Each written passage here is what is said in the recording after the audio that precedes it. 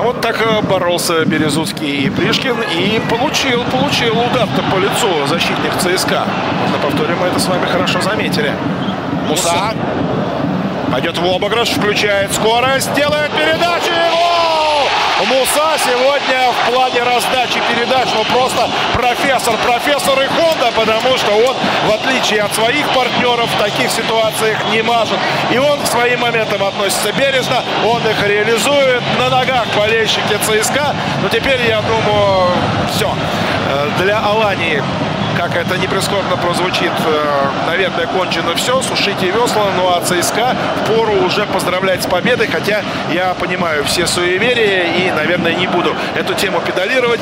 Тем не менее, это счет 2-0 в пользу ЦСКА за несколько минут до окончания встречи. Хорош проход, передача великолепна. Ну а Хонду просто-напросто позабыли на дальней штанге. Провал в обороне как на одном фланге, так и на другом. Не сумел Булгару остановить Мусу. Ну а почему против Хонда никто не играл? Эти вопросы и многие другие Владимир Газаев обязательно на разборе этого матча задаст своим футболистам.